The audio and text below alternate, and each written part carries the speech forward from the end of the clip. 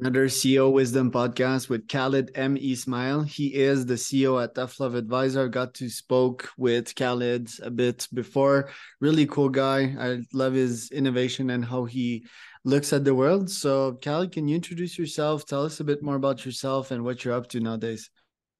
Absolutely, and uh, thanks for having me. I really appreciate this. Uh, any opportunity to share our thoughts, learnings, plans is always welcome.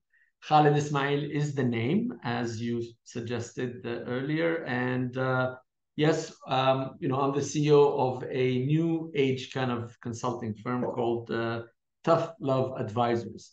And Tough Love Advisors is what it suggests in the name. We give businesses, not people, sometimes people, uh, tough love to improve and grow as an organization. But this comes at the back end of introducing myself. I'm a 33 year corporate veteran. I've uh, not done consulting before. And that was really the differentiator that we bring myself and my partners that come in. We bring in real life experience to a conversation with our clients. So that's really who I am in really short uh, snippet. What did you learn from Tetra Pak and Coca Cola? You spent 25 years there, something like that. So, what were your insights while working there? Well, uh, you know, I'm a marketeer at heart. I grew in the marketing world in advertising, joined Coca Cola and Tetra Pak. Funnily enough, both brands were uh, accounts for me on the advertising side. So, I had managed them when I was uh, on the advertising side. But when I went into Coke, learnings, it's uh, at the time and sure is now, it's a school. Uh, you learn the whole spectrum of what marketing is, whether it's to do with the, the packaging of the product, the labeling, the branding, the activation, the partnership, production, events. And as a brand manager, and I became a region brand uh, manager at the time, uh, it, it basically meant I went to school into marketing, but in real life with an amazing brand. Um, and I spent, you know, a good five to seven years there, different parts of the world. Then I joined for the past 20 years before I left. I was with um, Tetra Pak, which is a famous packaging company uh, based out of Sweden and, and Switzerland. And uh, yeah, I mean, I was uh, looking after brand and communications and uh, reputation and sustainability and everything that comes under that umbrella uh, for Europe, Central Asia, Middle East, and Africa before I left uh, very recently, about a year and a half ago. And that's when the idea of Tough Love was uh, born. What do you say to people that call Coca Cola sugar water company? You know, we cannot deny what it is. The product is what the product is, but we have to give it to the, first of all, the benefits of the product, meaning, you know, you're refreshing. Uh, it gives you what you're looking for in moderation. It's actually fantastic. Of course, drink a lot of anything. You will be ill, sick, if not, you know, take it any further than that. Um, but uh, it's a brilliant marketing idea to take something that is already well liked and make it synonymous with everyday life and the enjoyment moments uh, um, that that Coca-Cola brings. So my comments is it's a brand that uh, has changed the world from a branding perspective. Yeah, I still need to get my rum and coke fix. Um, it's been like three years, so yeah, I have this itch I need to scratch. What tickles you? Yeah, this is what tickles me. is a book I finished obviously uh, a while back what tickles me is a lot of things that I learned from. So the concept of what tickles me is two things. One, things that make me irritated, but I put it in a positive, constructive way, and I look at it and I look at the positive angle of it. But it has already irritated irritated me, which is why I bring it up. Or it's an aha moment. Wow, I didn't know that.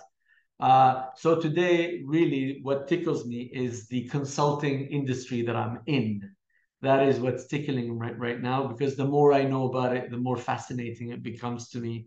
And I'm happy to delve into that topic. But it's it's a fascinating world. It sure is. Right. Tell us like the top three because uh, if I read on LinkedIn, it says it's not your traditional self help book. Um, it is educational, entertaining, and informative. So, what um, could you tell the listeners here, CEOs of uh, businesses and startups, about like the the insights in that book? Well, the book I think you're referring to now is the Made with Tough Love, which is the other book that we've uh, just finished uh, doing with my partners.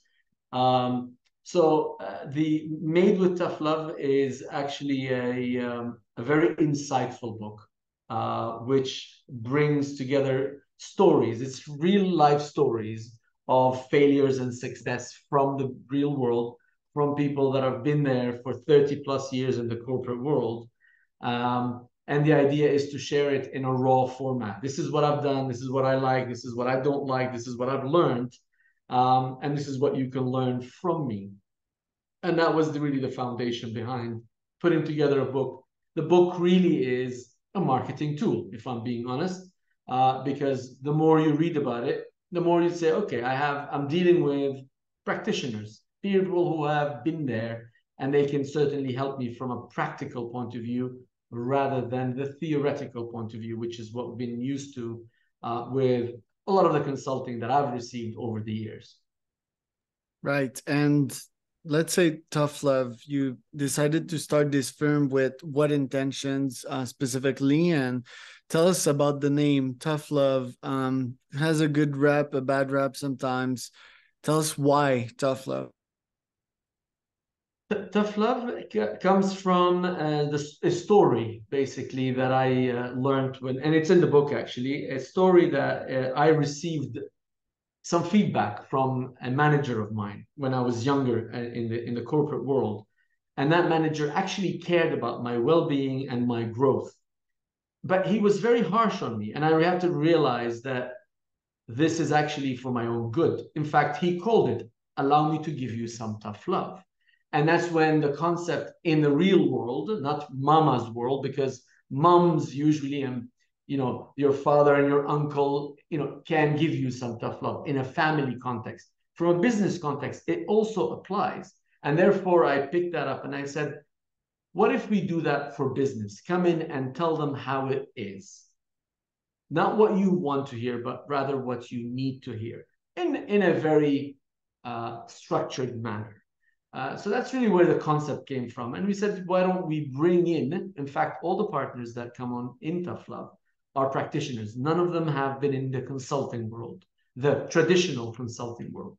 And we would go out to companies, and now we have about 25 different engagements uh, with different clients that we have come across as more genuine, more relevant, um, and personalized rather than taking something off the shelf that I've done in many markets around the world. And there's nothing wrong with that. It's great benchmarking. But I really need you to fix my problem here. I don't need to go into the theory part of it. And that's where they hopefully have seen the difference that we bring to the table. So that's really what tough love is all about. Right. And how do you give feedback the right way? How how can tough love be too much sometimes? Because I think some people use that umbrella to really spit venom on others as as managers? So what's the equilibrium here to have someone yeah, that, grow? you know it's a good good uh, point charles. I mean we're in business to uh, add value make money and be a sustainable relationship.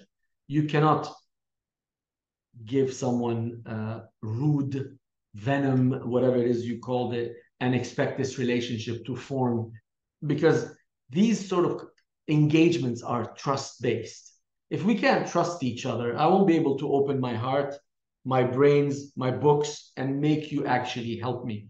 So uh, the concept is really coming in, and the at the heart of it is co-creation, which means we come in with our experience, and there's one thing that differentiates us. We believe in the concept of we will never know your business like you do.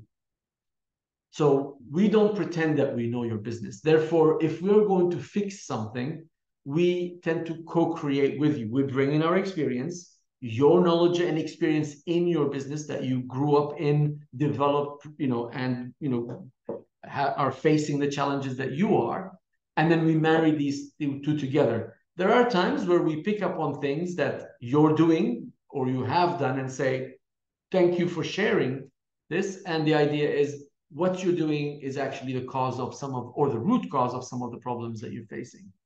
So, in short, it's a process that we follow. And yes, we do give uh, uh, honest feedback. I'm sure a lot of people do that, but we put it in a structured way. Hence, where the tough love, you know, spin on things come in with what we offer.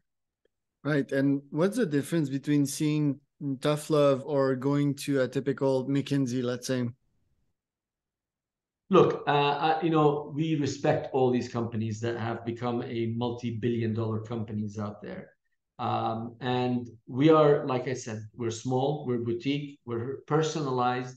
In fact, one of the interesting uh, things that I, I remember reading 80% of clients out there that we have been involved in, um, they are looking for personalized engagement rather than you bring in the top guns, you obviously impress uh, uh, the client with something, and then of course a a less experienced, more junior person comes in and you know comes and try to tell you what to do with your business.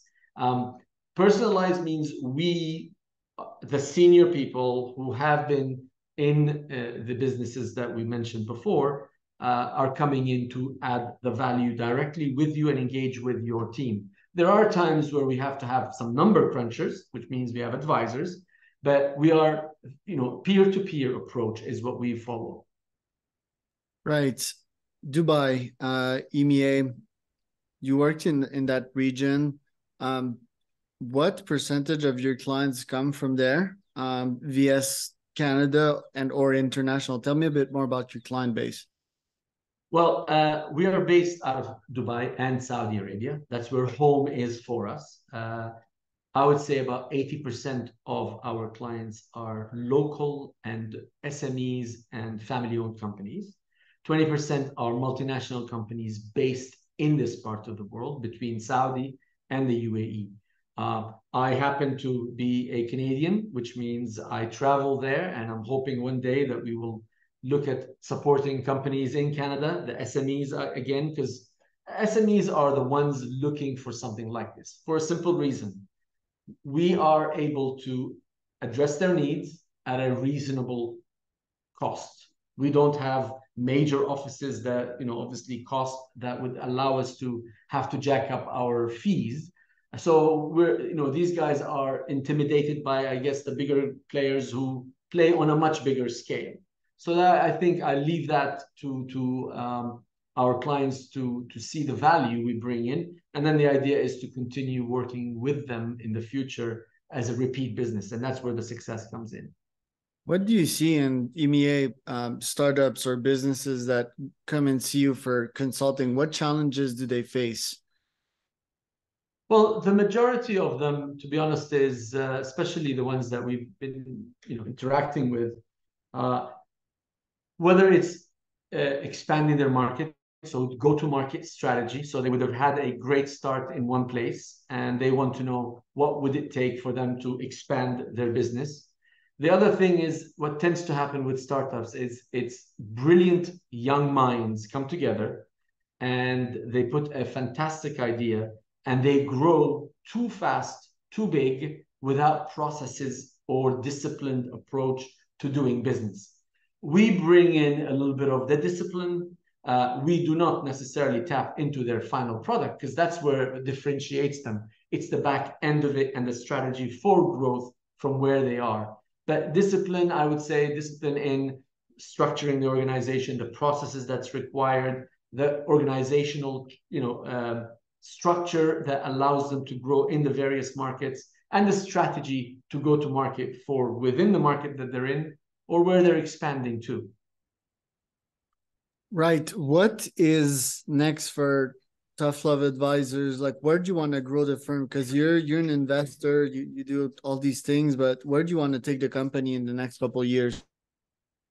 You know, the idea for Tough Love uh, is comes from uh, a concept of bringing in people who are practitioners. So people that have done X number of years in the real world, working, you know, in in various sectors and industries. Um, and what I have come across is there's a lot of people after a certain number of years, and we're talking the majority of them 25 to 30 years. That's a significant number of years of experience. They tend to get bored. They get to say, look, I think I've had enough of doing this grind, let's say. I've learned, I've grown, I've earned money. I don't need to put uh, a bread on the table anymore. I want to be able to give back. And of course, giving back has uh, different shapes and sizes. So the point for us is to identify these individuals in different markets. So we've started in, in the UAE and Saudi. I'm sure that one day we would look at Tough Love Egypt, Tough Love Turkey, Tough Love Canada. Um, and it's not that difficult because there are a lot of people who have come out of that practitioner's mode. We now have the processes to help them deliver to, to the clients. We have the back end to support them, but they are a practitioner rather than a li- lifelong consultant, doing it in a certain way based on theory and insights. These people are not looking into insights, they're looking at their own experience and what they've been able to do and the failures that they have been through and and the learnings that they've picked up along those years because I often study the big four. I want to turn my own agencies, well, some of them into consulting agencies. And sometimes I wonder how can I innovate here? Because these agencies, I mean, the model has been quite simple. They're kind of the Harvard of the consulting world, and they just drop a, a, a humongous invoice on on these companies. You know, 500k, a million I think we new consulting firms can do something better, more innovative. What would what would that be like? For example, when you work on a client, how much do you charge them? Is it like a monthly recurring fee? Like, how can we innovate to build uh, something better for us and for the clients? You know, we, we are trying to structure our business in a sustainable way. So we work like any so-called consultant does we call ourselves advisors because we bring in the real life experience. But we have daily rates and we work on projects. But one of the things I'm very, very conscious of one, we want to make sure we come in to help your business grow and the fees are to be associated with that growth. So, you know, we can make sure that we're not just giving you a price tag and saying, look, take it or leave it, because we want to be able to come in, find your budget that allows you to obviously uh, grow the business that you're trying to fix or want to expand. And we are again looking at it as a uh, um, either a retainer or an assignment, a project, saying here are the deliverables, and this is what we would uh, guarantee that at the end of it you will see from us.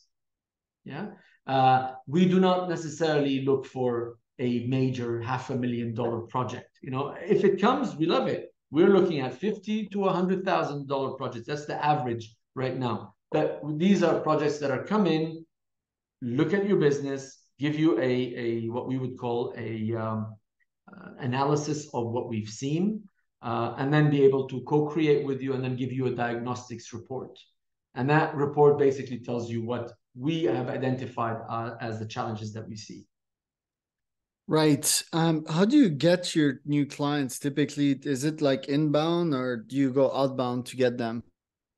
You know, uh, uh business development is is a tricky thing, uh, especially uh, in in this uh, consulting world.